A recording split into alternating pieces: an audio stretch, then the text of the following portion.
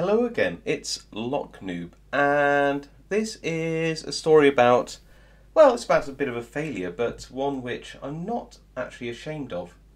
So, um, you may or may not know that I am a, uh, well, I don't work as one anymore, but I'm a scientist, and um, and I've just been thinking about kind of different pick profiles, and I was trying to aim for a profile which um, had sort of a high peak in the middle um, and low peaks either side. Just because, you know, the king and the queen and uh, all those other types of picks that are out there, uh, they, they do have, you know, a high peak at either end or in a low peak, but nothing really in the middle. I thought, you know what, there's maybe a little gap there. Then I started thinking about what, what sort of natural waveforms are there, and I remember um, the well the ECG or the EKG, uh, and you have the um, obviously the the P wave, Q, R, S, and T wave. Um, I didn't put the small U wave on there, and I just thought you know that that's sort of reminiscent of my my background and will that kind of be a cool pick.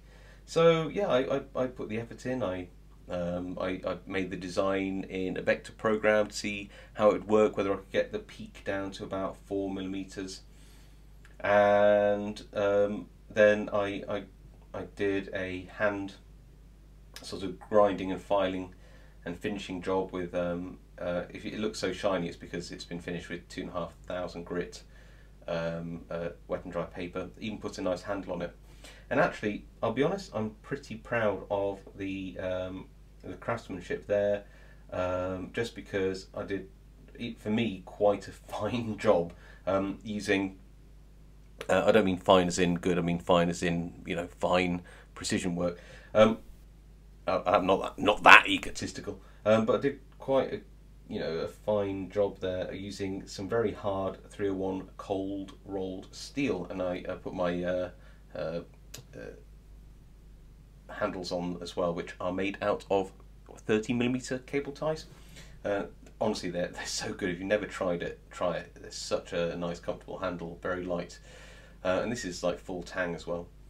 Uh, so yeah, uh, it works out in some ways artistically just perfectly, but this is an example of where, let's be honest, the um, art, the design completely um, outshines the practicality what I didn't really well, I did consider it, but I thought I'd get away with it. Is um, a canyoning effect.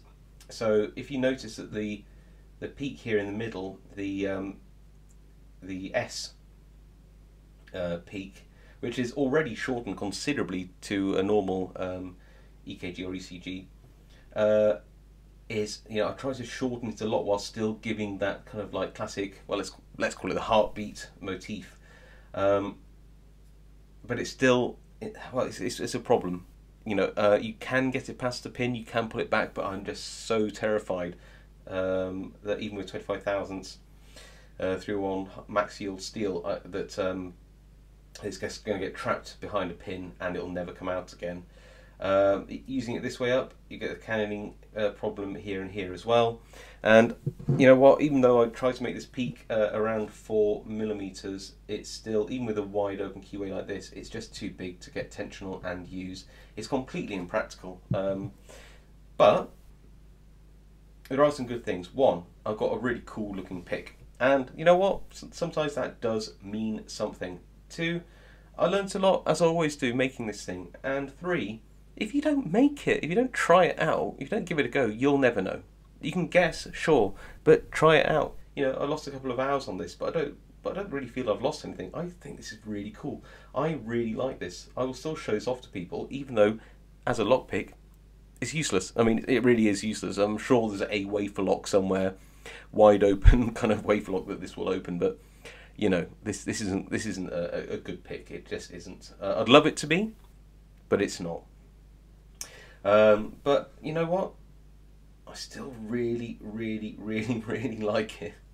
Um, and yeah, I had such fun making it. So I hope you, I hope you can appreciate the sort of effort that went into this, and I hope that you take away um, that sometimes you've just got to try things out, and you can't be disappointed if they don't work. As long as you did the best job you can do, and you gave it a good shot, and you thought about it well. If it doesn't work out, there's no harm done. At least you can make a YouTube video of it, right? All right, I'll see you next time.